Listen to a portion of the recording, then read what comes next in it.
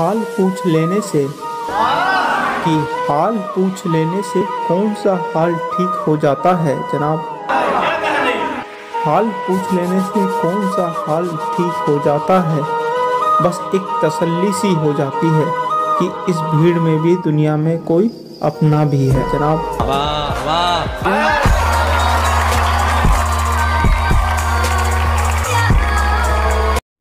नज़रअंदाज करो उन लोगों को, कि नज़रअंदाज करो उन लोगों को जो आपके बारे में पीठ पीछे बात करते हैं, दोस्त। नज़रअंदाज करो उन लोगों को जो आपके बारे में पीठ पीछे बात करते हैं, क्योंकि वो उसी जगह रहने लायक है, दोस्त। वाह वाह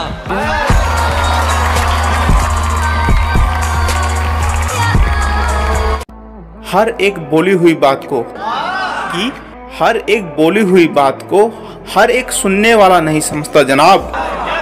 हर एक बोली हुई बात को हर एक सुनने वाला नहीं समझता, क्योंकि बोलने वाला भावनाएँ बोलता है और लोग केवल शब्द सुनते हैं, जनाब।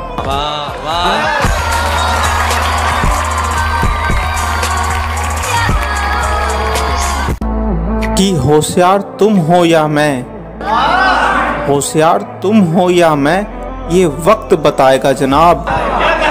होशियार तुम हो या मैं, ये वक्त बताएगा, क्योंकि वक्त सच बताता है जनाब। वाह वाह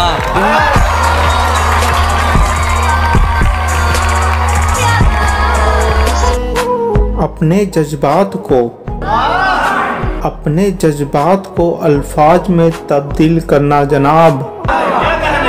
अपने जज्बात को अल्फाज में तब्दील करना ही शायरी है, जनाब। वाह वाह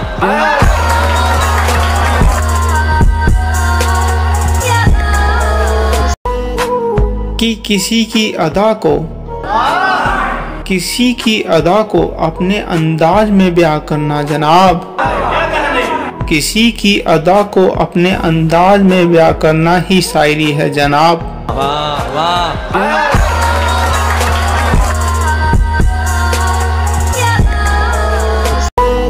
कि अल्फाज ऐसे। अल्फाज ऐसे जो दिल में आसिया बना ले दोस्तों। अल्फाज ऐसे जो दिल में आसिया बना ले, वही शायरी है। वाह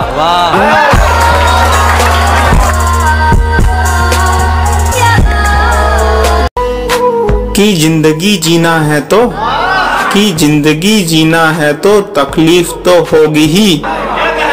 ज़िंदगी जीना है तो तकलीफ़ तो होगी ही, वरना मरने के बाद तो जलने का भी एहसास नहीं होता साहब। वाह वाह।